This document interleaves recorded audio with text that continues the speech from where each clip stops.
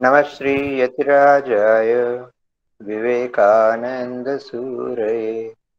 सच्चित्सुखस्वरूपाय स्वामिने तापहारिणे আজকের দিনের বিশেষ কোনো গুরুত্ব সেরকম আমাদের কাছে নেই রামকৃষ্ণ সঙ্গে আমরা এই দিনগুলিকে কোনো বিশেষ গুরুত্ব দিই না ঠাকুরেরই এই মর্ত লোক থেকে যাবার দিন হোক, কি মায়ের, স্বামীজির, যে কোনো অন্য সন্ন্যাসীরই হোক, এই দিনকে আমরা আলাদাভাবে আর কোনো বিশেষ গুরুত্ব দিই না। কিন্তু আজকের দিনের গুরুত্ব অন্যরকম আছে। স্বামীজি সশরীর থাকতে একটি ঘটনা আমার মনে পড়ে। আহ, শ্রোতাদের মধ্যে অনেকেরই হয়তো জানা থাকবে। যখন স্বামীজি তার পাশ্চাত্য কয়েকজন অনুগামীদের নিয়ে ভারতে এসছিলেন, আর আজকের দিনই তিনি হঠাৎ একটি কবিতা রচনা করে আর সবাইকে চমক দিয়েছিলেন। তা কবিতাটির শিরোনামই হচ্ছে চৌঠা জুলাই। আর কেন সেটা করেছিলেন? কেন না আজকের দিনই আমেরিকার স্বাধীনতা দিবস। চৌঠা জুলাই যেহেতু আমেরিকার স্বাধীনতা দিবস, স্বামীজি একটু সুন্দর কবিতা রচনা করেছিলেন। সেটা স্বামীজির রচনাবলিতে আমরা দেখতেই পাই। আর যদি দুঃখের হিসাবে যদি দেখতে চাই দিনকে, তারও কারণ আছে। যারা একটু ইতিহাসের ঘটনাগুলি যারা জানেন, আমার মনে হয় যদুর আজকের দিনই ছিল উনিশশো সাতচল্লিশ সালে, খুব জোর, চৌঠা জুলাই, সেদিন ব্রিটেনের পার্লামেন্টে আমাদের দেশের স্বাধীনতা সম্পর্কিত একটা সিদ্ধান্ত নেওয়া হয়েছিল। কিন্তু স্বাধীনতার সম্পর্কে মানে দুঃখের কথা কেন বলছি? যে তার সাথে সাথে দেশ বিভাজন করারও সিদ্ধান্ত। আজকের দিনই সেই বিলটা ব্রিটিশ পার্লামেন্টে রাখা হয়েছিল। যাই হোক, সেটা আজকের দিন নিয়ে যেহেতু আলোচনা একটু করেছে শুভেন্দু, সেটা আমি বললাম। আমাদের যেটা চলছে স্বামীজির অনুদান তার সাথে এই জিনিসগুলোর কোনো সম্পর্ক নেই। তো আমরা আর অন্য বিষয়ে না গিয়ে আজকের আমাদের যে বিষয়, সে নিয়ে আলোচনা আরম্ভ করি। আগের আগের বার আমরা দেখেছিলাম নরেন্দ্র আর শ্রীরামকৃষ্ণের কীরকম কীভাবে মিলন হবে। আর এই মিলন যে এত সুদূর তার প্রভাব বিস্তার হবে, এই আজকে এত বছর হয়ে গেছে আর কত বছর যাবে, কত শতাব্দী যাবে, এই যে দুজনের দেখা হবার যে পরিণাম যেটা হয়ে দাঁড়াল, সেটা এত শতাব্দী ধরে মানুষদের প্রভাবিত করবে, এটা হয়তো সেদিন। সামান্য মানুষের অন্তত হয়তো কেউ আন্দাজও করতে পারেনি। তাই আগের বার যেটা আমরা বিশেষ করে একটু দেখার চেষ্টা করেছিলাম যে নরেন্দ্র আর শ্রী রামকৃষ্ণ দুজনের যে সাক্ষাৎ হয়েছে, যে সাক্ষাৎ সে তাদের দুজনের পরস্পর আলাপ হয়েছে, সেটা শুধুমাত্র দুজন ব্যক্তি বিশেষের আলাপ পর্যন্ত ছিল না। সেরকম তো এই পৃথিবীতে কোটি কোটি মানুষ হয়তো দুজন কেউ মিলে থাকে। কিন্তু নরেন্দ্র আর শ্রী রামকৃষ্ণের দুজনের মিলনের ফলস্বরূপ যা কিছু ঘটনাবলী হয়েছে তারপর ইতিহাস যেভাবে দাঁড়িয়েছে, সেটা আজকেও মানুষকে প্রভাবিত করছে। আরও বহু শতাব্দী ধরে মানুষকে সেভাবে তার অন্তর্দিকটাকে একটু প্রভাবিত করতে থাকবে। আমরা দেখেছিলাম কেন এটা হয়েছিল? কেননা এটা মিলন শুধু দুমাত্র মানুষের না, এই সাক্ষাৎ দুজন মানুষের না, এই সাক্ষাৎ ছিল দুটি প্রজন্মের যেন এই সাক্ষাৎ ছিল যেন দুটি মানসিকতার এই সাক্ষাৎ ছিল যেন প্রাচীন ভারতের সাথে নবীন ভারতের শুধু তাই না এই সাক্ষাৎ ছিল যেন পাশ্চাত্য সংস্কৃতির সাথে প্রাচ্যের সংস্কৃতি এই সাক্ষাৎ ছিল যেন ধর্ম আর আধ্যাত্মিকতা বিজ্ঞান আর আধ্যাত্মিকতা তো নানান দিক থেকে আমরা নরেন্দ্র আর শ্রীরামকৃষ্ণের পরস্পর সাক্ষাৎকে ব্যাখ্যা করতে পারি। আর আমরা অল্প কিছু চেষ্টা আগের বার একটু বিশদভাবে করেও ছিলাম। তা মূল জিনিস যেটা হলো, এটা নরেন্দ্র থেকে স্বামীজি, স্বামী বিবেকানন্দের যে উত্তরণ হয়েছে মানুষ, নরেন্দ্রের যে বিকাশ ঘটেছে, স্বামী বিবেকানন্দ রূপে তার যে পরিবর্তন হয়েছে, সেটাই আমরা মুখ্য একটা পরিণাম বলে দেখতে পাই। আমার মনে পড়ে যারা রামকৃষ্ণ সংঘের সাথে একটু বিশেষভাবে পরিচিত, যারা জড়িত, তারা নিশ্চয়ই স্বামী প্রেমেশানন্দজির নাম শুনে থাকবেন। প্রেমেশানন্দজি তিনি শ্রী রামকৃষ্ণের দর্শন করেননি, কিন্তু তিনি শ্রী মায়ের দর্শন করেছেন। আর শ্রী মায়ের কাছে আমি যদি ভুল না করে থাকি, মন্ত্র শিশু ছিলেন মায়ের। আর পরবর্তীকালে তিনি রামকৃষ্ণ সঙ্গে যোগও দিয়েছিলেন। আর অনেক গান রচনাও করেছেন, খুব সুন্দর সুন্দর গান রচনা করেছেন আর খুব উচ্চ কোটির সাধু ছিলেন। তা যাই হোক তার লেখা পত্রগুলির একটা সংকলন আছে, সেটা আমাদের যে কোনো আশ্রমে হয়তো পাওয়াও যেতে পারে, বুক স্টলে পাওয়া যেতে পারে প্রেমেশানন্দজির যে পত্র সম্ভার এটা তার মধ্যে আমার একটা জিনিস মনে পড়ে। বহু বছর আগে পড়েছিলাম, কিন্তু ওই জিনিসটা আমার এত ভালো লেগেছিল, আজ পর্যন্ত মনে আছে। আজকে এই হঠাৎ কথা বলতে বলতে সেই কথাটা মনে পড়ে গেল যে, সেখানে প্রেমেশানন্দজি বলছেন যে, একটা কাঠের পিসও সে যতই দামি হোক না কেন তার হয়তো বিশেষ মূল্যে থাকে না। কিন্তু সে কাঠের টুকরো যদি একটা ভালো শিল্পীর হাতে পড়ে তাহলে সেই শিল্পের হাতে পড়ার পরে তার যে দাম, তার যে মূল্য বহুগুণ বেড়ে যায় সেটা অনস্বীকার মানে সেটা স্বীকার করতেই হয়। তা ওই শিল্পীর হাতে যদি না পড়ে, তাহলে সে যতই দামি জিনিস হোক না কেন, সে একটা পাথরের টুকরো থেকে যায় কিংবা একটা কাঠের টুকরো থেকে যায় কি একটা মাটির, তাহলে তেমনি পড়ে থেকে যায়। কিন্তু এই জিনিসগুলো সে মাটি হোক, কি কাঠ হোক, কি পাথর হোক একটা ভালো শিল্পের হাতে যদি পড়ে সেই শিল্পী যদি তাকে একটা সুন্দর আকার দিতে পারে, তাহলে হয়তো সে একটা মূর্তি রূপে না, যে কোনো অন্যভাবে তার দামটা, তার ভ্যালুটা তার মূল্যটা অনেক অনেক বেড়ে যায়। তা তেমনি কেন আমার কথা মনে পড়ল? মানুষের যতই গুণ হোক না কেন, নরেন্দ্রের অনেক গুণ আছে। আমরা দেখেছিলাম নরেন্দ্রের মধ্যে গুণের অভাব নেই। কিন্তু সে গুণগুলির কি হতো? যদি শ্রীরামকৃষ্ণের হাতে যদি নরেন্দ্র যদি না পড়তেন, তাহলে নরেন্দ্রের জীবন কোন দিকে পরিচালিত হতো? সেইটা আমরা কল্পনা মাত্র করতে পারি। নরেন্দ্র যখন শ্রীরামকৃষ্ণের কাছে এসছে যে বিবেকানন্দ রূপে তার যে গঠন হলো শ্রীরামকৃষ্ণের হাতে, সেটা একটা বিশেষ অবদান ইতিহাসে। আর সবচেয়ে বড় পরিবর্তন আমরা দেখতে পাই নরেন্দ্রের জীবনে। নরেন্দ্র যিনি পাশ্চাত্য শিক্ষা গ্রহণ করেছিলেন, তার মনে এক রকমের সন্দেহবাদ ছিল। সে সন্দেহের নিরসন হয়তো হয়নি। ওই যে প্রথম তিনটি সাক্ষাৎ দক্ষিণেশ্বরে হয় প্রথম তিনটি সাক্ষাতের একটা যে মুখ্য একটা পরিণাম যেটা হয়ে দাঁড়ায়, সেটা এই যে নরেন্দ্রের মানে যে সন্দেহ ছিল, সে সন্দেহের যদিও পুরোপুরি তার নিরসন হয়নি, কিন্তু তার ধারটা অনেকটা কমে গেছে। তার মনে রকমের বিশ্বাস জন্মায়, জন্মেছে। তার মনে ধর্ম আর আধ্যাত্মিকতা নিয়ে যে শুধু একটা সৈদ্ধান্তিক কিছু কল্পনা ছিল সৈদ্ধান্তিক কিছু কথাগুলি জানা ছিল। কিন্তু শ্রী রামকৃষ্ণের সংসর্গে আসার পর নরেন্দ্রের মনে হয়েছে যে হ্যাঁ ধর্ম আর আধ্যাত্মিকতা শুধু কথার কথা নাই শুধু বইয়ের কথা নেই এগুলো বাস্তবিক রূপ নিতে পারে। এগুলো বাস্তবিক জীবনে রূপায়িত হতে পারে স্যার, নরেন্দ্রের মনের মধ্যে আস্তে আস্তে পরিবর্তন আসতে শুরু করেছে। এবার এই পরিবর্তন কীভাবে এসছে? এটা একদিনে আসেনি, এটা মনে রাখতে হবে কিন্তু। আর নরেন্দ্র তো ওই রকম খুব সাদা সিধে মানুষও ছিলেন না যে কেউ কিছু বলেছে আর তিনি কথাটা স্বীকার করে নিলে, গোগ্রাস গিলে নিলেন সেরকম চরিত্র নরেন্দ্রের ছিল না।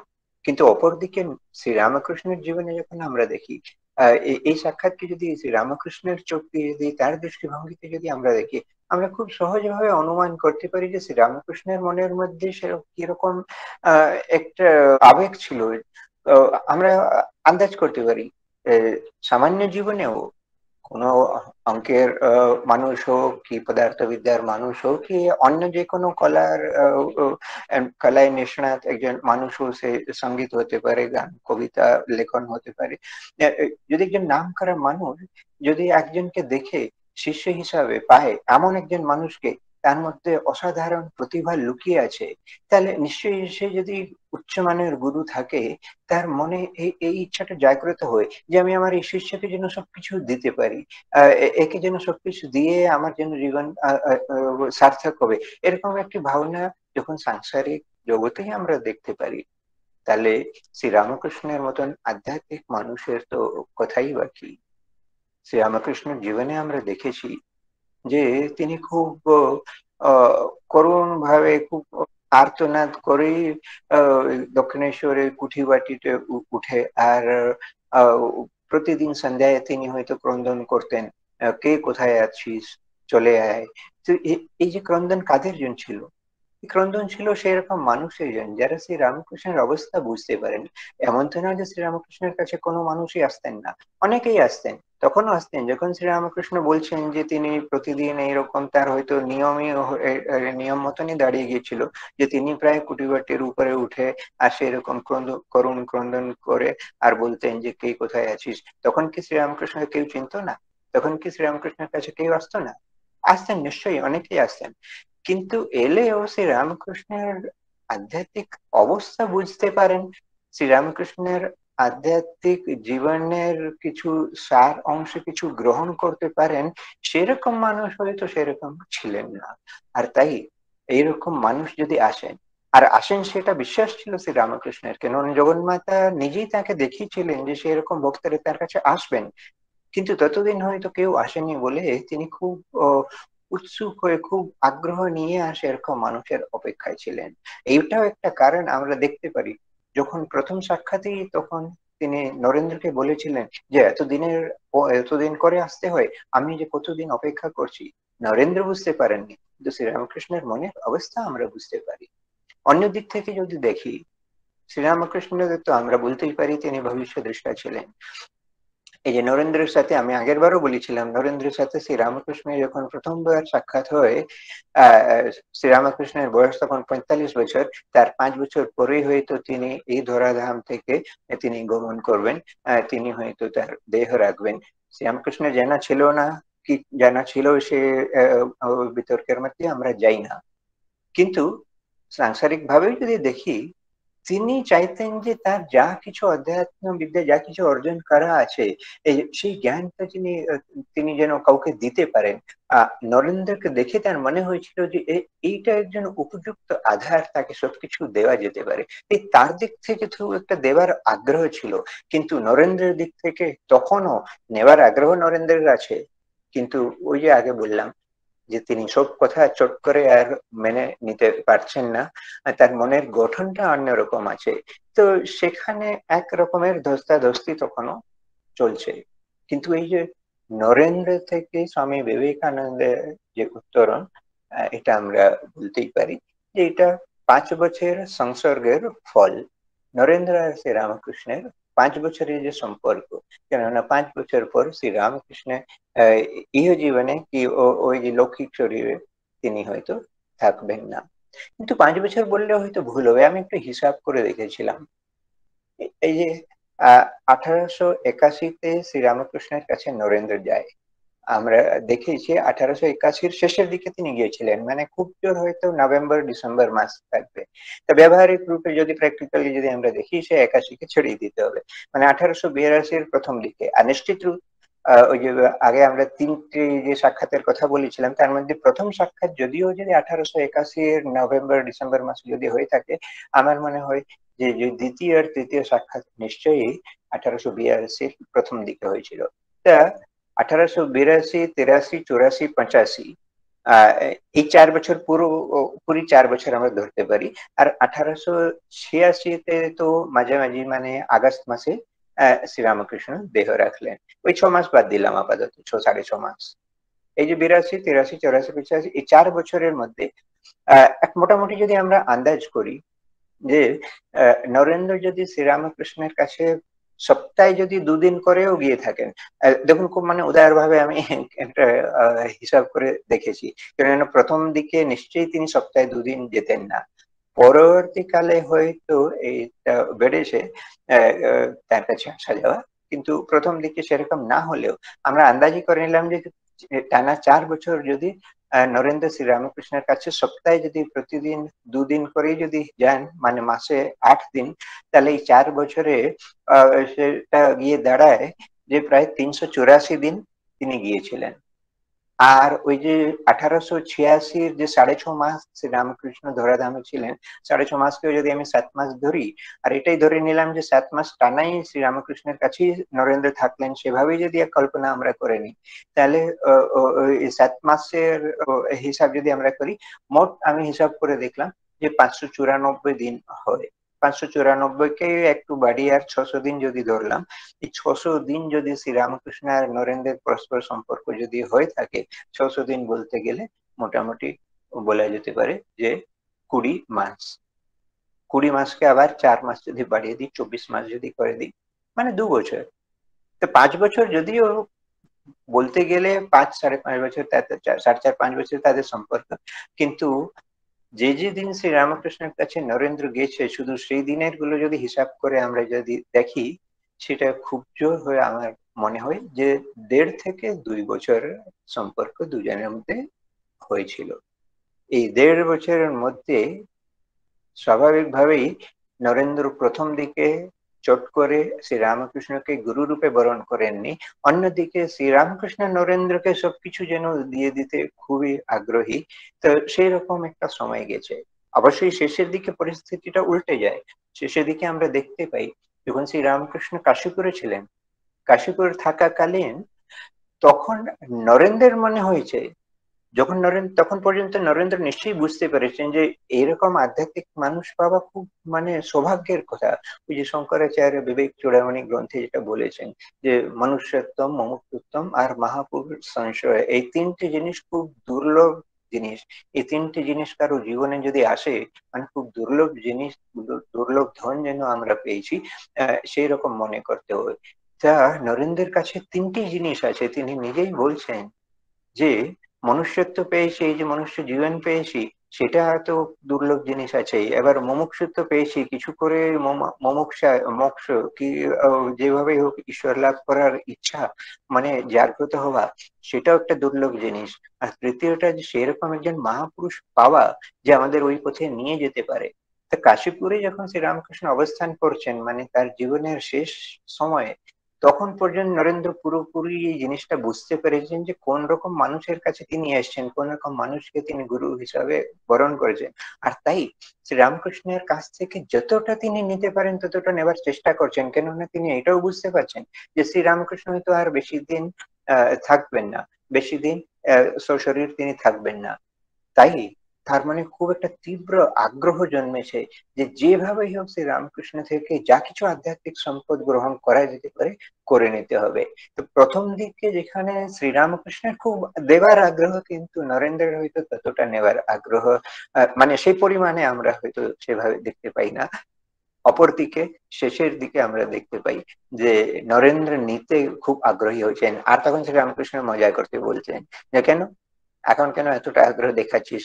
তোকে তো প্রথম প্রথম আমি যখন স্পর্শ করলাম, ওই দ্বিতীয় সাক্ষাতের কথা নিশ্চয়ই শ্রোতাদের মনে থাকবে যে দ্বিতীয় সাক্ষাতে যখন শ্রী রামকৃষ্ণ নরেন্দ্রকে স্পর্শ করেছিলেন, তার একটা আধ্যাত্মিক কিছু চেতনা তার মধ্যে সঞ্চারিত করার চেষ্টা করেছিলেন। নরেন্দ্র চিৎকার করে উঠেছিলেন যে, আপনি কি করছেন? আমার বাড়িতে যে মা বাপ আছে, আমার বাবা মা আছেন তাও সেটাকেই মজা করে শ্রীরামকৃষ্ণ শেষের দিকে বলতেন, যখন নরেন্দ্র খুব দিক করেছে যে আমায় একটা আধ্যাত্মিক অনুভূতি দিতেই হবে, আমায় একটা সমাধি অবস্থার লাভ আমাদের করাতেই হবে, তখন শ্রীরামকৃষ্ণ মজা করে বলতেন, কেন? তোর যে মা বাবা আছে অবশ্যই সেই কথা শ্রীরামকৃষ্ণ মজা করেই বলতেন। তিনি সেই অনুভূতি নরেন্দ্রকে দিয়েও ছিলেন।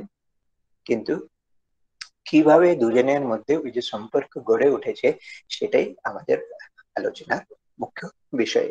বিশেষ করে আজকের যে আমরা আলোচনা করতে চলেছি, তার মধ্যে একটা জিনিসের উপর আমি বিশেষ গুরুত্ব দিতে চাই, যে নরেন্দ্রকে প্রশিক্ষণ দেওয়া এতটা সহজ ছিল না।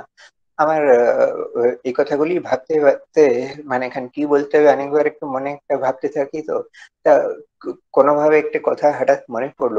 ইংরেজিতে একটি কবিতা আছে ব্রেকিং এ হর্স মানে ওই যে একটা জঙ্গলি ঘোড়াকে নিয়ে এসে তাকে পোষা এতটা সহজ হয় না। জঙ্গলি ঘোড়াকে এনে আর তাকে ট্রেনিং দিয়ে আর পোষা আর তার উপর মানে রাইডিং করা, বাংলায় রাইডিং করা কি বলবে? আমার মনে পড়ছে না। তো যাই হোক, কিন্তু ওই ঘোড়ার উপর বসা এতটা সহজ নেই। প্রথম দিকে যখন ঘোড়া যদি পোষা ঘোড়া যদি না থাকে, তার উপর বসাটা বসাটা সহজ হয় না। তো যে স্পেশাল কোচ যারা থাকে, যারা সেই ক্ষেত্রে স্পেশাল ট্রেনিং নিয়ে থাকে, তারাই কিন্তু ওই জিনিসটা করতে পারে। তো ওইটা একটা মানে তার নিজস্ব একটা বিজ্ঞান আছে। যাই হোক, তো কিন্তু তার মধ্যে মুখ্য জিনিসটা যেটা, যে খুব পেশেন্স মানে খুব ধৈর্যের প্রয়োজন হয়। আর দ্বিতীয়টা সে ঘোড়ার মধ্যে সেরকম একটা বিশ্বাস জাগ্রত করতে হয়। যাতে যে ট্রেনার তার কাছে যখন যায়, তো প্রথম দিকে ঘোড়া যেমন ছুটে পেলে আস্তে আস্তে সে অনুমতি দেয় যেন কোচকে কাছে আসার শ্রীরামকৃষ্ণ নরেন্দ্রের মধ্যে আমার হঠাৎ মনে পড়ল যেন সেরকমই একটা সম্পর্ক। নরেন্দ্র এমন একটা এমন একটা তেজি একজন যুবক, আঠারো বছরের, উনিশ বছরের তখন বয়স। আর তার মেধা বুদ্ধি তার যে বিচার ক্ষমতা তার যে মানসিক দৃঢ়তা, তার কাছে কোনো, আর সামান্য কোনো মানুষ হয়তো দাঁড়াতেও পাচ্ছে না। শ্রীরামকৃষ্ণেরই অলৌকিক ক্ষমতা ছিল।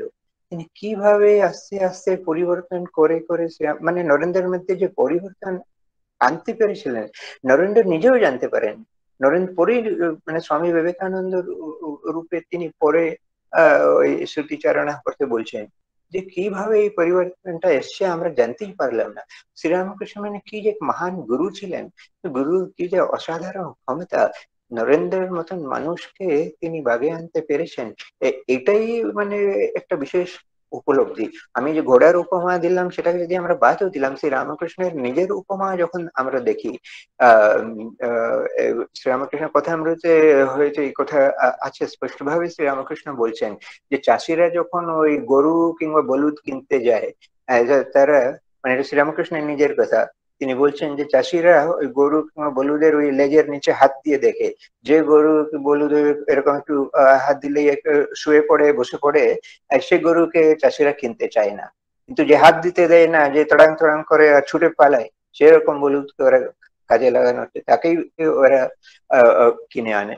তা এখানে শ্রীরামকৃষ্ণ বলতে চাইছেন যে, নরেন্দ্র হচ্ছে সেরকম একজন তেজিয়ান মানুষ, যাকে সহজে বাগে আনা খুব কঠিন। সামান্য মানুষকে হয়তো পারতেনও না। কিন্তু কীভাবে শ্রীরামকৃষ্ণ নরেন্দ্রকে আস্তে আস্তে পরিবর্তিত করতে পেরেছেন? আর তার মধ্যে মুখ্য জিনিস যেটা, সেটা ছিল শ্রীরামকৃষ্ণের অলৌকিক ভালোবাসা। সে ভালোবাসা যদি না থাকতো, তাহলে নরেন্দ্রকে শুধু মেধা বুদ্ধি বিচার দিয়ে হয়ে তো কোনো জিনিস বোঝানো যেত না। কিন্তু এই ভালোবাসার জেরে তিনি কীভাবে নরেন্দ্রকে বিবেকানন্দ রূপে গড়ে উঠেছেন। এটা সত্যি এটা খুবই আশ্চর্যজনক জিনিস। কি বলতে হবে আমার মনে পড়ে যে স্বামী বিবেকানন্দের বাংলায় ওই জীবনীতে এই সম্পর্কের কথা লিখতে গিয়ে আমার মনে হয় স্বামী গম্ভীরানন্দজি এইসব আলোচনার যে শিরোনাম দিয়েছেন, ওই যে চ্যাপ্টারের নামই যদ্দূর আমার মনে পড়ে দিয়েছেন, আশ্চর্য বক্তা, কুশল লব্ধা এই কথাটি অবশ্যই ওই কঠোপনিষদ থেকে নেওয়া আছে। তো এই যে একটা সত্যি আশ্চর্যের বিষয় যে বাইরে থেকে দেখতে গেলে নরেন্দ্র আর শ্রীরামকৃষ্ণের মানে কোনোভাবেই হয়তো কোনো সামঞ্জস্য দেখা যাচ্ছে না। কিন্তু সেই রকম নরেন্দ্রকে শ্রীরামকৃষ্ণ নিজের কাছে টানতে সফল কাম হয়েছেন। সেটা এই অলৌকিক ভালোবাসার জেরে। সে ভালোবাসার কথা শ্রীরামকৃষ্ণ বিবেকানন্দের প্রসঙ্গে ছত্রে ছত্রে ছড়িয়ে আছে। অনেক জায়গা আমরা দেখতে পারি। এই আলোচনার মধ্যে কয়েকটা উদাহরণ দিয়ে আমরা দেখার চেষ্টা করব। তার মধ্যে প্রথম জিনিসটাই দেখতে হবে। আধ্যাত্মিক ক্ষেত্রে গুরুর সেবা করাকে একটা বিশেষ মানে ওই সাধন হিসাবেই নেওয়া যায়। অনেকবার এমন হয় যে মানে শিষ্যের মধ্যে তো সেরকম আগ্রহ থাকেই, গুরুর ব্যক্তিগত কিছু সেবা, সে তার চরণ সেবা করা বলো তার হয়তো কিছু কাজ করে দেওয়া, সে শারীরিক কোনো সেবা করা হোক কি তার জন্য হয়তো অন্যভাবে কোনো ভাবে কাজে লাগা, যেভাবেই হোক মানে শিষ্য সবসময় চায় যে গুরুর কোনো কোনো ভাবে কাজে লাগা যায়। অপরদিকে অনেকবার আমরা দেখতে পাই, শ্রীরামকৃষ্ণ আর মা শারদের জীবনেও দেখতে পাই, এবং স্বামীজির জীবনেও উপরে দেখতে পাই, যে তারা যদি কোনো শিষ্যের উপর প্রসন্ন হয়ে থাকেন, তারা নিজে হয়ে সে শিষ্যকে সুযোগ দিচ্ছেন। শিষ্য হয়তো লজ্জাবশত কি সংকোচবশত বলতে পারছে না যে সে কোনো সেবা করতে চায়। সেখানে গুরু নিজে হয়ে সে সুযোগ দিচ্ছেন। আহ সেরকম সুযোগ শ্রীরামকৃষ্ণ মাঝে মাঝে তার খুব ঘনিষ্ঠ শিষ্যদের দিতেন। সবার সেবা শ্রীরামকৃষ্ণ নিতে পারতেন না। কিন্তু কয়েকজন শুদ্ধ সত্যগুণী মানুষদের সেবা নিতে তার কোনো দ্বিধা ছিল না। আমরা দেখতে পাই তার যে সন্ন্যাসী শিশুদের মধ্যে একজন ছিলেন স্বামী ব্রহ্মানন্দ। আমরা জানি যে স্বামী ব্রহ্মানন্দকে তিনি নিজের মানসপুত্র হিসাবেই দেখতেন। তো যেহেতু মানসপুত্র, তো তার কাছ থেকে তো সেবা না নিলেও চলে, কিন্তু তার আধ্যাত্মিক উন্নতির জন্য শ্রী রামকৃষ্ণ চাইতেন যে তাকেও এই সেবার কাজটা যাতে দেওয়া হয় একদিন তিনি রাখালকে বলছেন, স্বামী ব্রহ্মানন্দজিকে বলছেন যে আমার পায়ে একটু খুব ব্যথা হচ্ছে একটু আমার পা টিপে দে না। আর দেখুন মানে কি কীরকম শ্রীরামকৃষ্ণের সাথে এই শিষ্যদের সম্পর্ক ছিল। তা, যেহেতু তিনি রাখালকে খুব ভালোবাসেন তাকে নিজের মানুষ পুত্র হিসাবে দেখেন। তা, রাখালের মানেও সেরকম একটা এ আছে। তিনি বলছেন, আর এমনিতেও রাখাল একটু বড় বাড়ির ছেলে তো। তিনি ওই চরম সেবা করতে খুব একটা আগ্রহী নন। তা তিনি বলছেন, না না, আমি এসব পারব না। এদিকে শ্রীরামকৃষ্ণ নাছোড় বান্দা, তিনি বলছেন, টিপে দে না, একটু টিপে দে না। ওইরকম করে করে কোনোভাবে তিনি রাখালকে সেবা করার জন্য পাদ সেবা করার জন্য রাজি করেছেন। আর ওই একটু পা টিপতে না টিপতে হঠাৎ রাখাল দেখেছেন যেন যে শ্রীরামকৃষ্ণকে তো তিনি দেখতেই পাচ্ছেন না। তিনি দেখছেন যে তার সামনে যেন সাক্ষাৎ মা কালী আছে আর এই দর্শন পাবার কিছু সেকেন্ডের মধ্যে আবার শ্রীরামকৃষ্ণ যেন সেখানে উপস্থিত হয়েছে। আর শ্রীরামকৃষ্ণ খুব মুখ টিপে হাসছেন আর বলছেন, দেখছিস তো? এই যে তুই সেবা করলি, তার ফলটা হাতে নিতে পাওয়া গেছে কিনা তা কেন এই প্রসঙ্গটা বলছি? যে যে রাখালকে শ্রী রামকৃষ্ণ এত ভালোবাসতেন, আর যে রাখাল নিজেই হয়তো তার সেবা করতে এতটা আগ্রহী নেই, তাকেও তিনি জোর করে এই সেবা তিনি করিয়ে নিচ্ছেন। কিন্তু নরেন্দ্রের ক্ষেত্রে আমরা দেখতে পাই, নরেন্দ্রকে সেই রামকৃষ্ণ এতই ভালোবাসতেন যে নরেন্দ্র নিজেও যদি বলতে চাইছিলেন যে আমি কিছু সেবা করতে চাই, না বলেও নরেন্দ্র কোনো সেবা করার জন্য যদি কিছু উদ্যুক্ত হতেন আর তিনি একটু এগিয়ে যেতেন নরেন্দ্র শ্রীরামকৃষ্ণ তৎক্ষণাৎ না বলতে, না না না, তোকে করতে হবে না। তোর থাক আলাদা। মানে নরেন্দ্রকে এত আলাদাভাবে তিনি দেখতেন নরেন্দ্রের কাছে কোনো ব্যক্তিগত সেবা নেওয়াটাও যেন শ্রী রামকৃষ্ণের কাছে একটা মানে তিনি নিজেই যেন কোনো দ্বিধা কোন রকমের একটা মানসিক বাধা তিনি মনে মনে অনুভব করতেন। তাই নরেন্দ্রের কাছ থেকে তিনি কোনো ব্যক্তিগত সেবা নিতেন না। আমরা আরেকটা জিনিস দেখতে পাই। আমার মনে হয় তপন একবার প্রশ্ন করেছিল যেদিন নরেন্দ্র আর শ্রীরামকৃষ্ণের প্রথম দেখা হয়ে আর নরেন্দ্র তপন প্রশ্ন করেছিল যে ও যেন কারও কাছে শুনেছে না, কোথাও পড়েছে যে নরেন্দ্র যখন শ্রীরামকৃষ্ণের কাছে প্রথমবার যায়, আর শ্রীরামকৃষ্ণ তার কিছু, তার দিকে তাকায়নি, তার সাথে কোনো কথা বলেনি। আমি বলেছিলাম যে সেরকম নিশ্চয়ই হয়নি। সেরকম হয়নি তার একটা নিদর্শন আমরা শ্রীরামকৃষ্ণের বর্ণনা থেকেই পেতে পারি। এই যে প্রথম দু তিনটি যে সাক্ষাতের কথা বললাম, সে তো হলোই, কিন্তু তারপরেও বেশ কয়েক দিন, কয়েক মাস হয়তো চলে গেছে। শ্রীরামকৃষ্ণের কাছে নরেন্দ্রের আসা যাওয়া বেড়েছে। শ্রীরামকৃষ্ণের, নরেন্দ্রের মধ্যে একটা ভালো সুসম্পর্ক স্থাপিত হয়েছে। আর শ্রীরামকৃষ্ণ নরেন্দ্রের প্রতি এতটাই আকর্ষণ, এতই ভালোবাসা তার মনে আসছে যে তিনি বলছেন যে এক ঘর লোক ভর্তি থাকলেও নরেন্দ্র যদি এসে বসে থাকতো, আর আমি যা কিছু ঈশ্বর প্রসঙ্গ করছি, যা কিছু কথা বলছি, আমি ওই লোকদের মধ্যে কাউ, কারও দিকে আমি তাকাতেই পারতাম না। আমি একমাত্র নরেন্দ্র দিকে তাকিয়ে থাকতাম। মানে তিনি নরেন্দ্রকে এত ভালোবাসছেন। যে ঘর ভর্তি লোকদের দিকে দিকে নরেন্দ্র শ্রীরামকৃষ্ণের এতটা লক্ষ্য যেত না। তিনি নরেন্দ্রকে পেয়ে যেন সব জগৎ সংসার সব ভুলে যেতেন। আর তিনি শুধু নরেন্দ্রের দিকে তাকিয়ে সব কথা বলে যেতেন। এবার কল্পনা করে নরেন্দ্র হয়তো তখন নিজেই একটু অস্বাভাবিক মনে করছে নিজে একটু মনে মনে লজ্জা হচ্ছে। নরেন্দ্র নিজেই বলছে, আপনি এদের সাথেও একটু কথা বলুন। কেউ হয়তো কোনো কোনো সময় নরেন্দ্র উঠে চলেই যেতেন, ঘর থেকে বাইরেই চলে যেতেন। তা সেরকম হয়ে যায়। আজ রামকৃষ্ণ বলছেন, নরেন্দ্র এরকম বলার পর হয়তো আমি অন্য লোকদের দিকে তাকাতাম। তো এইটা একটা সামান্য হলেও কিন্তু এটা একটা নিদর্শন যেখান থেকে আমরা দেখতে পাই শ্রীরামকৃষ্ণ নরেন্দ্রকে কীভাবে ভালোবাসতেন। ভালোবাসার আর একটা দিক আমরা দেখতে পাই। প্রত্যেক মা বাবাই যেন নিজের সন্তানকে খুব ভালোবাসেন। আর নিজের সন্তানের ভালোবাসা শুধু ওই সন্তানের প্রতি ভালোবাসা দেখিয়েই তো শেষ হয় না। আবার মা বাবাদের মধ্যে আমরা দেখতে পাই যে তারা অনেকবার বাড়িতে কোনো লোক এলে কি পাড়া প্রতিবেশী কেউ এলে তাদের সামনেও নিজের ছেলের, নিজের মেয়ের খুব প্রশংসা করে থাকেন। তা এই যে একটা স্বাভাবিক মানবিক একটা গুণ কিছু মানে ওই রকমই আমরা শ্রী রামকৃষ্ণের জীবনেও দেখতে পাই। আমরা দেখতে পাই শ্রী রামকৃষ্ণের কাছে অনেক ভক্তই আসছেন, অনেক নামকরা লোকও ভক্ত আসছেন। বড় বড় যারা হয়তো সরকারি পদে প্রতিষ্ঠিত আছে, কেউ হয়তো তাদের সামাজিক প্রতিপত্তি আছে, সেরকম মানুষেরা আসছেন। আর তার মধ্যে বিশেষ দুটি উদাহরণ আজকের এই আলোচনার মধ্যে আমি দিতে চাইব। কেশব আর বিজয় কৃষ্ণ গোস্বামী, কেশব বলতে কেশবচন্দ্র সেন আর বিজয় কৃষ্ণ গোস্বামী।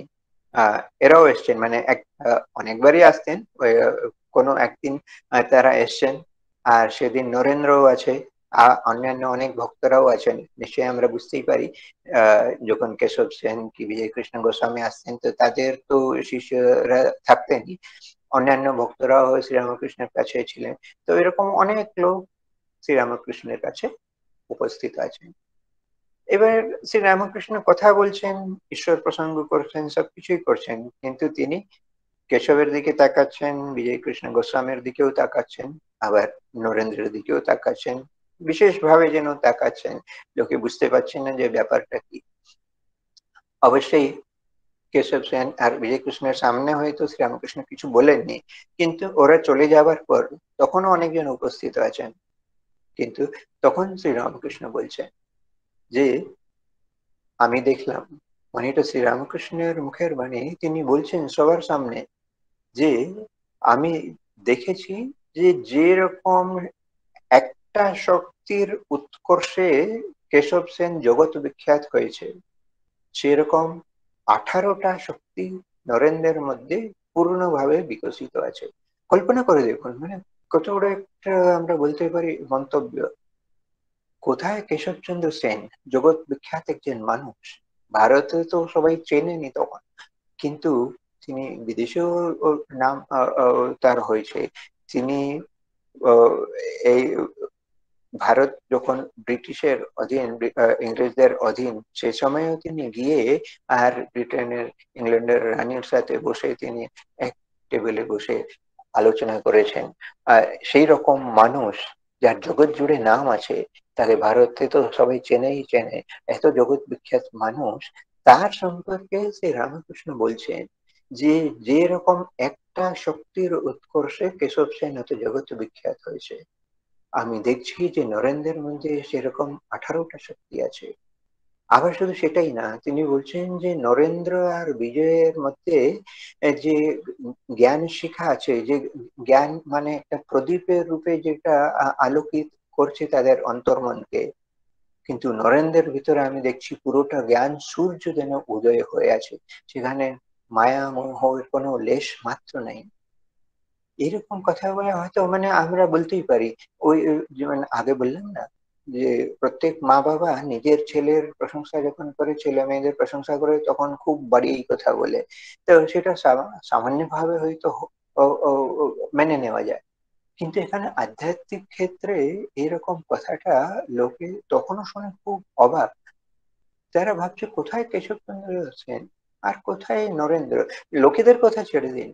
নরেন্দ্র নিজেই কথাগুলো হাজাম করতে পারছেন না। তিনি আবার প্রতিবাদও করেছেন। সে প্রতিবাদের কথা আমি, আমার পরবর্তী আলোচনায় হয়তো সেটা বলব। অন্য প্রসঙ্গে এই জিনিসটা যখন আমরা আলোচনা করব।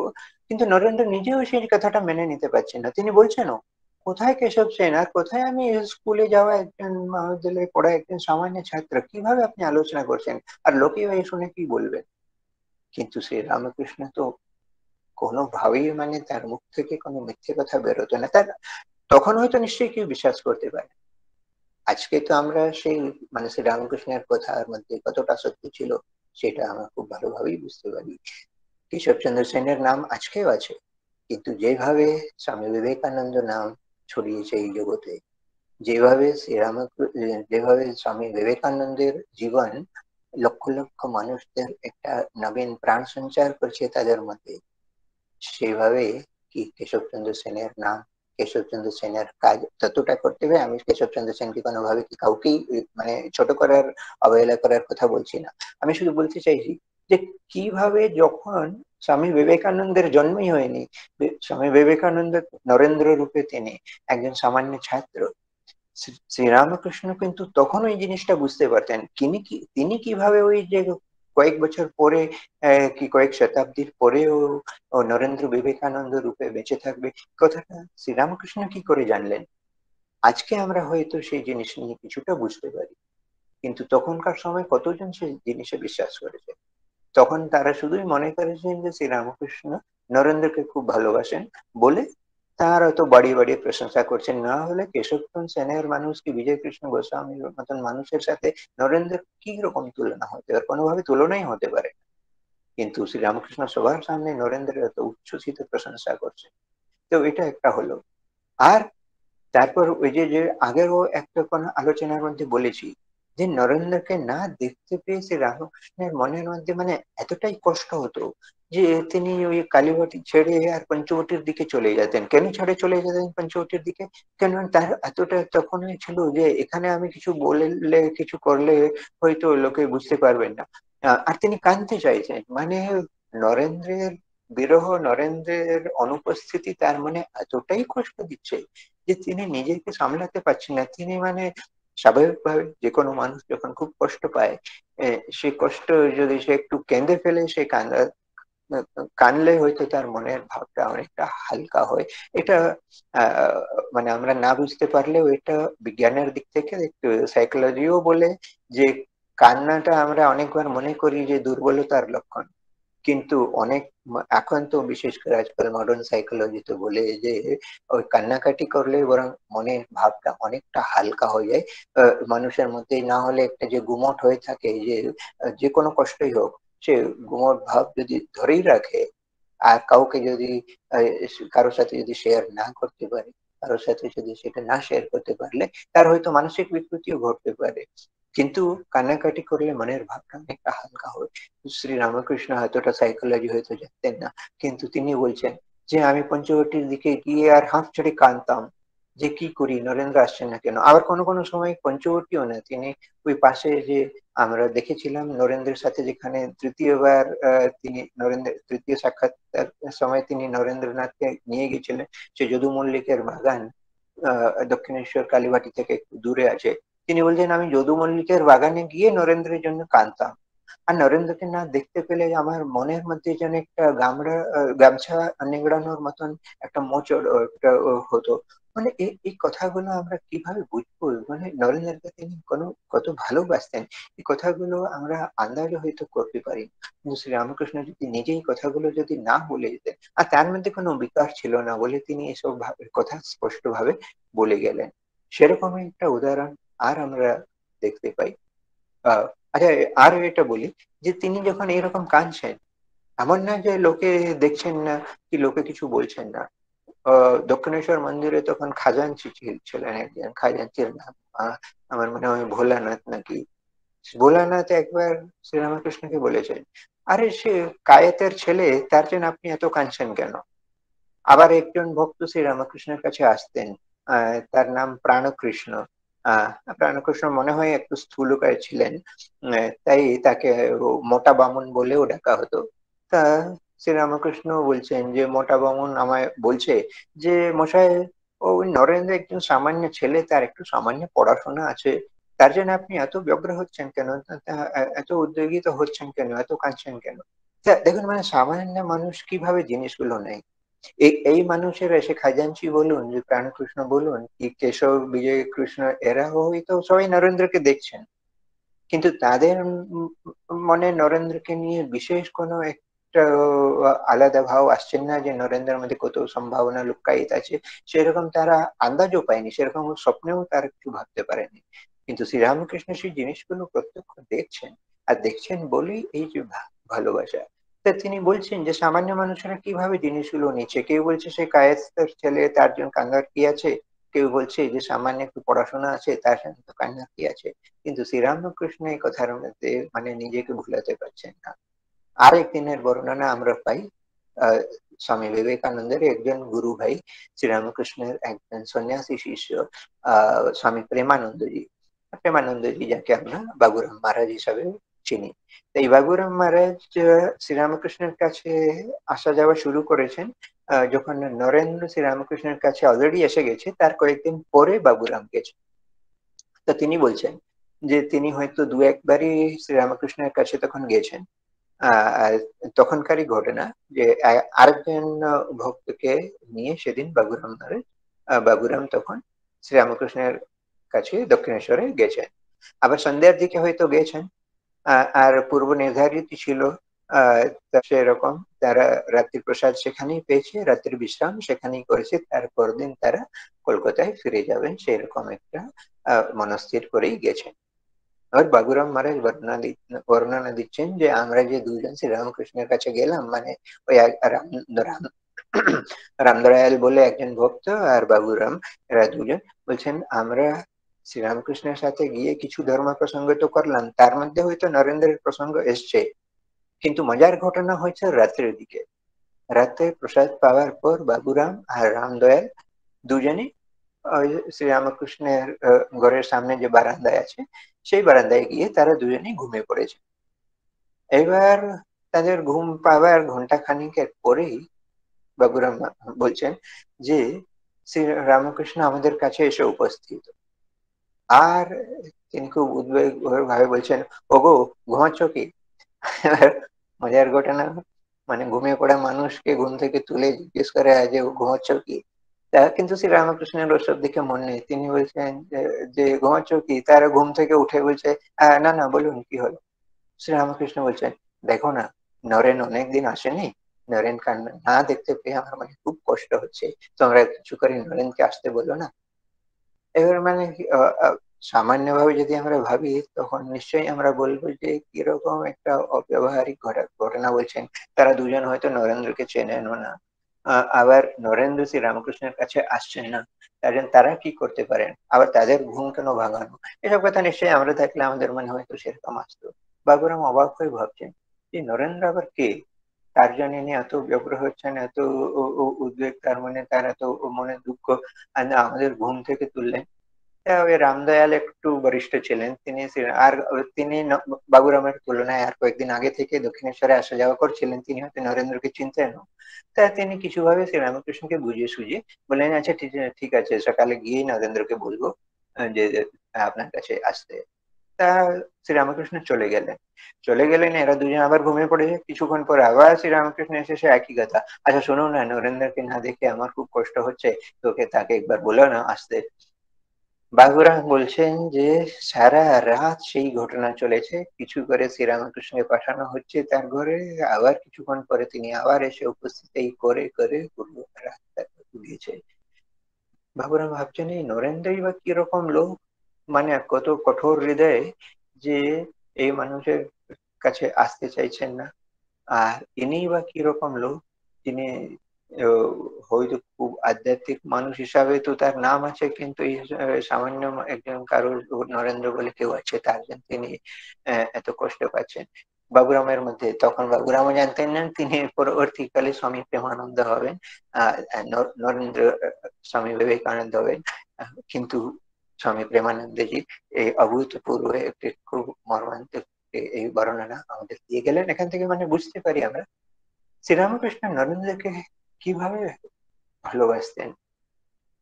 এই ভালোবাসা শুধু ওই দক্ষিণেশ্বরে ওই একটা নিবৃত একটা কোনায় ক্রন্দন পর্যন্ত সীমিত থাকতো না।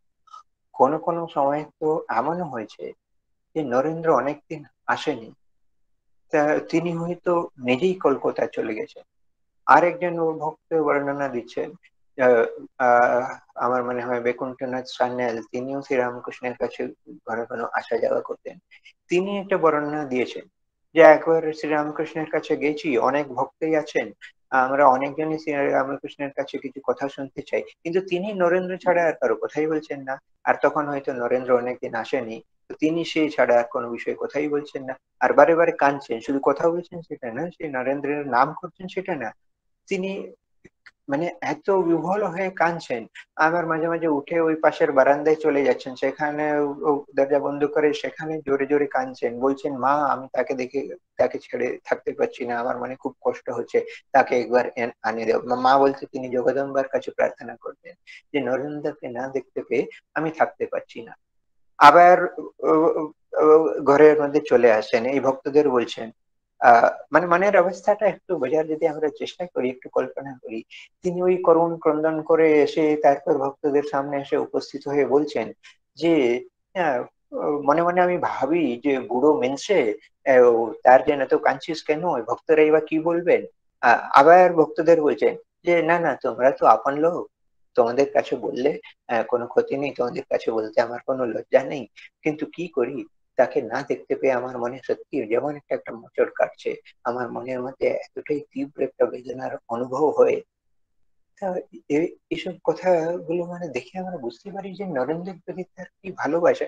এই ভালোবাসা যদি না থাকতো, নরেন্দ্রের মধ্যে পরিবর্তন আনাটা হয়তো এত সহজ কোনোদিনই হয়ে উঠতো না। আর যখন মানে এমন হয়েছে যে অনেকদিন পরেও যখন নরেন্দ্র আসছেন না, তিনি আর থাকতে পারছেন না। এমনও হয়েছে যে তিনি স্বয়ং কলকাতায় চলে গেছেন, দক্ষিণেশ্বর তিনি কোনোভাবে কলকাতায় চলে গেছেন। সেরকম একটি বর্ণনা দিতে চাইব যে নরেন্দ্র তখন তার দিদিমার বাড়িতে থাকতেন পড়াশোনার সুবিধার হিসাবে। তার দুজন সহপাঠী ছিলেন। এই দুজন সহপাঠী পরবর্তীকালে এই স্মৃতিচারণা করেছেন যে একবার আমরা নরেন্দ্রের কাছে বসে আছি। আর বসে আছি মানে কি? তখন হয়তো বিয়ের পরীক্ষা হবার জাস্ট কিছুদিন আগের ঘটনা। বলছে, ওই পরীক্ষার জন্য হয়তো আমরা পড়াশোনা নিয়ে কি অন্য আলোচনা করতে? আমরা সেদিন নরেন্দ্রের কাছে গেছি কথা বলছি। হঠাৎ শব্দ শোনা গেল, নরেন নরেন, আর নরেন হঠাৎ বুঝতে পেরেছেন যে শ্রীরামকৃষ্ণের গলা। তো তিনি ব্যগ্রহ সমস্ত ভাবে তিনি সবকিছু ছেড়ে আর ছুটে পালালেন। তো নরেন্দ্র সিঁড়ি থেকে নামছে, আর শ্রীরামকৃষ্ণ তখন সিঁড়ি দিয়ে উপরে উঠছেন। ওই মাছ সিঁড়িতেই দুজনের দেখা হলো। আর কোনোভাবে শ্রী রামকৃষ্ণকে ধরে নরেন্দ্র উপরে এনেছে। আর নরেন্দ্রকে দেখে মানে শ্রীরামকৃষ্ণের মানে কি ভীষণ আনন্দ। তিনি তার গামছা থেকে মানে কেউ ভালো কিছু মিষ্টি তিনি নিয়ে গিয়েছিলেন নরেন্দ্রের জন্য। যে নরেন্দ্রকে খাওয়াচ্ছেন, আর খুব আনন্দ করছেন, আর বলছেন, তুই এতদিন আসিস নি কেন? এই আমি চলে এলাম। মানে এই যে এতটা টান আমরা আগে মানে শ্রীরামকৃষ্ণের জীবনের আলোচনা করে যদি দেখি, তার যে অভূতপূর্ব সাধনা, যেখানে ঈশ্বর ছাড়া আর কোনো মানুষের কোনো বস্তুর সেখানে কোনো স্থানই ছিল না। সেই রকম মানুষ আজকে দেখা যাচ্ছে, নরেন্দ্রের জন্য তিনি এত ব্যগ্র হয়ে উঠছেন। তারপর তিনি নরেন্দ্রকে বলছেন যে, অনেকদিন তোর গান শুনিনি? তা সেদিন গা, আমার মনে হয় একটা গান তো আমার মনে পড়ছে যাব মা, কুলকুণ্ডলিনী। এই গানটা আরও আরও অনেক গান হয়েছে। আর এত গান হওয়ার পরও তিনি নরেনকে বলছেন যে, অনেকদিন তো তুই ওখানে যাসনি দক্ষিণেশ্বরে, চল না একবার, চল না আমার সাথে। আর নরেন্দ্র সবকিছু ছেড়ে, বই যেমন ছিল, অন্যান্য জিনিস যেমন ছিল, সব ছেড়ে তৎক্ষণাৎ শ্রীরামকৃষ্ণের কাছে, সাথে যেতে রাজি। তো এই বন্ধুরা বলছে যে, আমরা আমাদের বাড়ি চলে গেলাম। আর দেখলাম যে, নরেন শ্রীরামকৃষ্ণের কাছে চলে গেছেন আর অনেক ঘটনা, কিন্তু আরেকটি ঘটনা বলে শেষ করব। মানে আজকের আলোচনা শেষ করব। সেই রকম একটি ঘটনা যে অনেকবার অনেকদিন নরেন্দ্র শ্রীরামকৃষ্ণের কাছে যায়নি। তখন শ্রীরামকৃষ্ণ মনে মনে ঠিক করলেন, তাহলে আমি নিজেই যাব। আর নরেন্দ্রকে কোথায় পাবো সেও তো ঠিক নাই। তা কিন্তু তিনি নিজে মনে মনে ঠিক করলেন যে, আর কোনো জায়গা হোক না হোক, কিন্তু সন্ধ্যায় ওই ব্রাহ্ম সমাজের সভা যেখানে হয়, ব্রাহ্ম সমাজের প্রার্থনা যেখানে হয়, সেখানে নিশ্চয়ই তার জানা ছিল যে নরেন্দ্র সেখানে গিয়ে ভোজন দেয় তা তিনি ঠিক করলেন যে তিনি ব্রাহ্ম সমাজে গিয়ে নরেন্দ্রের সাথে দেখা করবেন। এবার ব্রাহ্ম সমাজের কোনো সভ্যকেও জানানো হয়নি, নরেন্দ্রকেও জানানো হয়নি। আর এই কথাটা মনে রাখতে হয়, তখন ব্রাহ্ম সমাজের মানে দুটো ভাগ হয়ে গেছে। নববিধান হয়েছে সেদিকে, আর এদিকে সাধারণ ব্রহ্ম সমাজ হয়েছে। নরেন্দ্রের সাধারণ ব্রহ্ম ব্রহ্ম সমাজে আসা যাওয়া ছিল। আহ ব্রাহ্ম সমাজ সাধারণ ব্রহ্ম সমাজের যারা আছেন তখন কর্তা, বিশেষ করে শিবনাথ শাস্ত্রী, এরা এরা সবাই শ্রীরামকৃষ্ণকে চিনতেন। এক সময় সবাই কেশব সেনের সাথে দক্ষিণেশ্বরে আসা যাওয়া করতেন। আসা যাওয়া করতেন বলেই তারা শ্রীরামকৃষ্ণকে চিনতেন। কিন্তু এই যে ভাগাভাগি হওয়ার পর তার, তাদের মনের মধ্যে একটু রেশারেশির ভাব ছিল। আর এরা সাধারণ ব্রহ্ম সমাজে যারা ছিলেন, তারা মনে করতেন যে শ্রীরামকৃষ্ণের কাছে আসা যাওয়া করার দরুনই কেশব সেনের মনের মধ্যে পরিবর্তন হয়েছে। তো তিনি আগে যে কথাবার্তা, যে সিদ্ধান্তে তিনি বিশ্বাস করতেন, সেগুলো এখন ছেড়ে দিয়েছেন। তো সে, যা হয় সংগঠন থাকলেই যে ওই সংগঠনের ভাব রক্ষা হচ্ছে না। তো সাধারণ ব্রাহ্ম সমাজের মানুষেরা মনে করেন যে ওই ব্রাহ্ম সমাজের যে মূল সিদ্ধান্তগুলি তার ভাব রক্ষা তারাই করছেন। আর তাদের মনে হয়তো তখন কেশব সেন আর নববিধানের প্রতি এতটা শ্রদ্ধার ভাব নেই। আর যেহেতু এই পরিবর্তনের কারণ তারা শ্রীরামকৃষ্ণকে মনে করতেন, শ্রীরামকৃষ্ণের প্রতিও তাদের তখন একটা ব্যঙ্গোক্তি করা কি বক্তোক্তি করা শুরু হয়েছে, সমালোচনাও করতেন। শ্রীরামকৃষ্ণের সমাধি এসব জিনিসগুলো তারা না বুঝতে পেরে তারা শ্রীরামকৃষ্ণ কে এক রকমের অসুস্থ মানুষ বলেই তারা আখ্যায়িত করতেন। ও তাদের মনের দৌর্বল্য হিসাবেই তারাই সমাধি ইত্যাদি গ্রহণ করতেন। মানে কাজেই বলা যায় যে শ্রীরামকৃষ্ণের প্রতি তাদের মনে তখন বিশেষ একটা বিশেষ ভালো, ভালোবাসা তো দূরের কথা, কোনো শ্রদ্ধার স্থান ছিল না। সেই রকম একটি জায়গা। আর শ্রীরামকৃষ্ণের কথা জানতেন না, সেরকম না, তিনিও জানতেন। কিন্তু এত সত্ত্বেও তিনি ওই সাধারণ ব্রাহ্ম সমাজে হঠাৎ গিয়ে উপস্থিত। এবার এদিকে ব্রাহ্ম সমাজের মানুষেরা, কর্তারা বিশেষ করে তারা শ্রীরামকৃষ্ণকে বিশেষভাবে পছন্দ করেন না। এই জন্য তারা এত সবাই একটু আশ্চর্যান্বিত হয়েছে, আহ, অচম্বিত হয়েছে।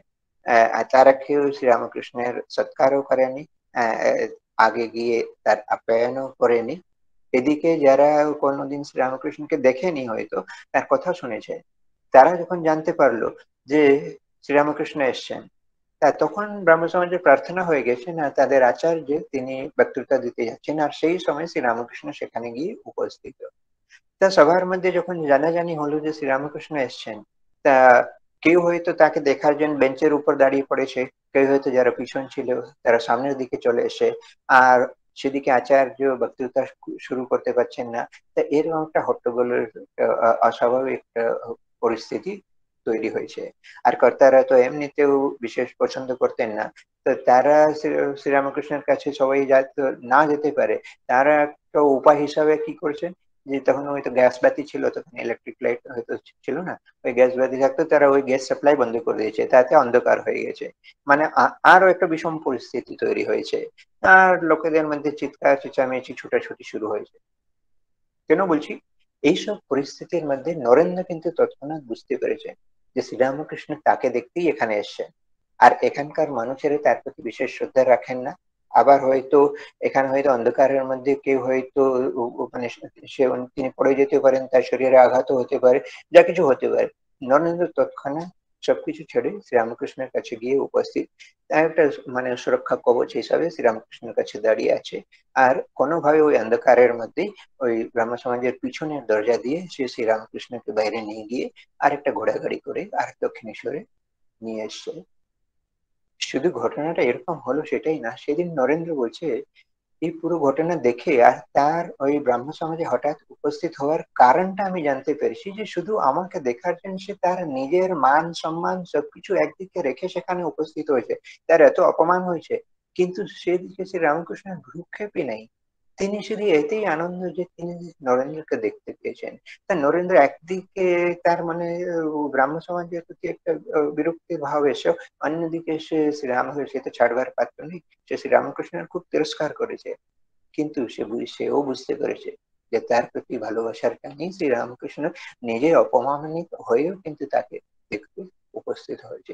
এই সময় অনেক ওই রকম ঘটনা আছে যেটা দেখায় কীভাবে শ্রীরামকৃষ্ণ নরেন্দ্রকে ভালোবাসতেন। কেননা শ্রীরামকৃষ্ণের কাছে যারাই গেছেন, সে গৃহী ভক্ত হোক কি শ্রীরামকৃষ্ণের অন্যান্য সন্ন্যাসী শিষ্যরা যারা আছেন প্রত্যেকের এই কথা বলেছেন যে শ্রীরামকৃষ্ণ মান যেন মানে তাকেই খুব বেলি, বেশি ভালোবাসতেন। প্রত্যেকেরই এরকম অনুভূতি হয়েছে যে আমার শ্রীরামকৃষ্ণ বিশেষ ভাবে, ভালোবাসেন। কিন্তু এত সত্য এটাও সবাই জানতেন যে নরেন্দ্রকে যেভাবে শ্রীরামকৃষ্ণ ভালোবেসছেন, সেরকম হয়তো কাউকে ভালো কিন্তু সে ভালোবাসার একটা বৈশিষ্ট্য ছিল। সে ভালোবাসা অন্যান্যদের মধ্যে কোন রকমের ঈর্ষার উদ্রেক করেননি। অবশ্যই কোন কোন জায়গায় আমরা সেরকম কথামৃতি সেটা দেখতে পাই যে শ্রীরামকৃষ্ণ হয়তো নরেন্দ্র সে তিনি খুব উৎসাহিত নরেন্দ্রকে কিছু বিশেষ কিছু মিষ্টান্ন খাওয়াচ্ছেন। নরেন খা নরেন খা করছেন। আবার হয়তো কোনো ভক্ত বলছে যে, ও, নরেন খা নরেন খা। আমরা কি সালারা বানের জলে ভেসে এসেছি? সেরকম হয়তো কোনো কোনো সময় কেউ কেউ উক্তি করেও বসতেন, কিন্তু সবাই জানতেন যে শ্রীরামকৃষ্ণের আর নরেন্দ্রের মধ্যে যে একটা অলৌকিক ভালোবাসার সম্পর্ক সেটা মানে একটা দেখার মতন জিনিস ছিল। এমন প্রশ্ন হতে পারে যে যিনি ঈশ্বরের জন্য সবকিছু ছেড়ে দিয়েছেন, তিনি এই একজন সামান্য ছেলের প্রতি এতটা তিনি আকর্ষণ অনুভব করতেন বা কি করে? আর কেনই বা করতেন? আর তার মধ্যে কি কোনো অস্বাভাবিকতা নেই? তাহলে একটা কথা এখানে মনে রাখতে হবে, যে এই যে ভালোবাসার কথা, কেননা আমাদের তো শব্দ দিয়েই বুঝতে হয়। আমরা যখন ভালোবাসা বলি, আমরা কিন্তু ওই সাংসারিক দিক দিয়েই সেই শব্দকে বুঝতে পারি। কিন্তু এই সাংসারিকতার পরে এই দেহ, মন, এই ইন্দ্রিয়াতীত একটা ভালোবাসা হয়, তার হয়তো আমরা আন্দাজও করতে পারি না। তাই শ্রী রামকৃষ্ণের নরেন্দ্রের প্রতি যে ভালোবাসা, তাকে যদি সাংসারিক চোখ দিয়ে যদি আমরা দেখার কি বোঝার চেষ্টা করি, কোনোদিনই হয়তো আমরা বুঝতে পারব না। কিন্তু শ্রী রামকৃষ্ণের নিজের মুখের কথা যদি আমরা দেখি শ্রী রামকৃষ্ণ একবার বলছেন মানে তার যে অন্যান্য যারা সন্ন্যাসী শিষ্য আছে, তাদের সাথে তিনি তুলনা করে একজন ভক্তকে এই কথা তিনি নিজেই বলেছেন যে, দেখছ, এই যে অন্যান্য যে ছেলেরা আছে, তারাও খুব শান্ত, শিষ্ট, তারাও কিছুটা পড়াশোনা করেছেন, কিন্তু এদের হয়তো সেরকম সামান্য পড়াশোনা করতেই তাদের সমস্ত শক্তি বেরিয়ে যাচ্ছে। কিন্তু আমার নরেন্দ্র, সে যেমন গাইতে বাজাতে তেমনি সে লেখাপড়ায়। তেমনি আবার বাজনায় তেমনি কথা কইতে আর তেমনি সে ধর্ম বিষয়ে। আর সে যখন রাতে ধ্যান করে, সে ধ্যান করতে করতে কখন যে ভোর হয়ে যায়, সারা রাত শেষ হয়ে যখন ভোর হয়ে যায়, সে নিজেই বুঝতে পারে না। তা আমার নরেন্দ্রের মধ্যে একটু সে মেকি ভাব নেই। তাকে যদি বাজিয়ে দেখো, টং টং করছে। বাকি ছেলেরা কোনোভাবে হয়তো চোখ, কান টিপে আর কোন রকম হয়তো দুটো, তিনটে পাস করেছে, আর সে পাস করে যেন তাদের সমস্ত শক্তি বেরিয়ে গেছে। কিন্তু নরেন্দ্রের কাছে এই পাস করাটা কোনো ব্যাপারই নেই। সে হেসে খেলে পাস করে, আবার সে ব্রাহ্ম সমাজেও যায়, সেখানে ভজনও গায়, কিন্তু সে অন্যান্য ব্রাহ্ম সমাজীদের মতন নেই। সে যথার্থ ব্রহ্মজ্ঞানী। সে যখন ধ্যান করে, তার জ্যোতি দর্শন হয়। তার সাদেই কি আমি নরেন্দ্রকে এত ভালোবাসি? মানে এই যে বক্তব্য শ্রীরামকৃষ্ণ, এখান থেকে আমরা বুঝতে পাই তিনি শ্রীরাম তিনি নরেন্দ্রের গুণের মর্যাদা দিতেন। কিন্তু নরেন্দ্র যে ধ্যান সিদ্ধ নরেন্দ্র যে সারা ধ্যান করে, নরেন্দ্র যে জ্যোতি দর্শন হয়, সেটা তার কাছে মুখ্য আকর্ষণের বস্তু ছিল। এই নরেন্দ্রের মধ্যে যে আধ্যাত্মিকতা, সে আধ্যাত্মিকতা তাকে আকর্ষিত করেছে। নরেন্দ্রের সে শারীরিক কি অন্য কি গুণ, সেগুলো এতটা তার এতটা গুরুত্বপূর্ণ ছিল না।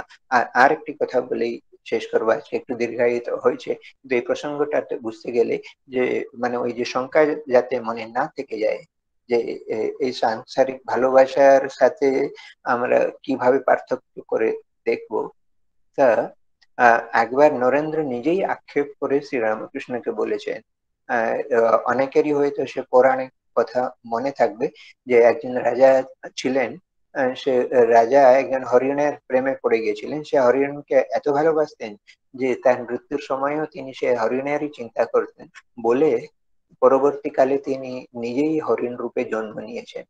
তা এই পৌরাণিক আখ্যান দিয়ে নরেন্দ্র একদিন শ্রী রামকৃষ্ণকে বলছেন যে আপনি যে এত নরেন নরেন করেন আপনার ওই যে রাজার মতনই অবস্থা হয়ে যাবে। শ্রীরামকৃষ্ণ তো সরল ছিলেন। তিনি সত্যি মনে করলেন যে হ্যাঁ তাই তো। কেননা তিনি তো শাস্ত্রকে ততটাই মানতেন। এদিকে নরেন্দ্রের কথা তো ততটাই মানছেন। তা তিনি তখনই গিয়ে আর মা জগদম্বাকে প্রার্থনা করলেন।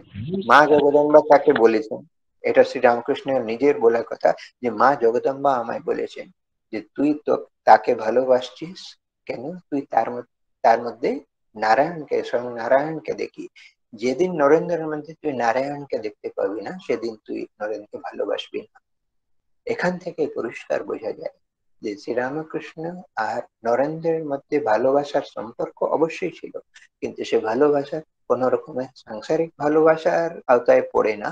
সেটা ছিল এক রকমের অলৌকিক ভালোবাসা, সেরকম একটা আধ্যাত্মিক সম্পর্ক সেখানে দেহ মনের উপরে উঠে আর তারা পরস্পর একে অপরকে ভালোবাসতে পেরেছিলেন। তা আজকে এই যে শ্রীরামকৃষ্ণের ভালোবাসার জিনিসটাকে আমি গুরুত্ব দিতে চেয়েছিলাম আহ আজকের প্রসঙ্গটা আমরা এখানেই শেষ করি। নরেন্দ্র আর শ্রী রামকৃষ্ণের সম্পর্ক নিয়ে আরও অন্য দিকগুলো যে আছে সেটা নিয়ে আমরা পরবর্তীকালে আলোচনা করব। শ্রী রামকৃষ্ণ অর্পণ